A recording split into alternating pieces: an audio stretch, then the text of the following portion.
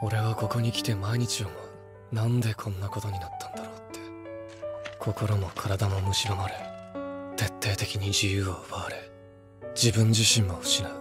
こんなことになるなんて知っていれば誰も戦場なんか行かないだろう。でもみんな何かに背中を押されて地獄に足を突っ込むんだ。